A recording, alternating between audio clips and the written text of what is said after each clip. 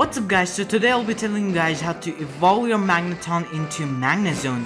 So all you need to do is to carry your Magneton to Route 13 and just level it up there. Just like in the previous games, Magneton evolves into Magnezone in an electromagnetic environment and Route 13 features Kalos region's power plant which actually gives it an electromagnetic environment so that's why your Magneton will evolve into Magnezone right in here.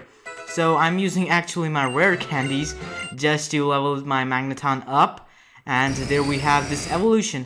Now Magnezone is e extremely powerful Pokemon with high special attacking stat and very good bulk. So it's, it's it, it just has a raw power.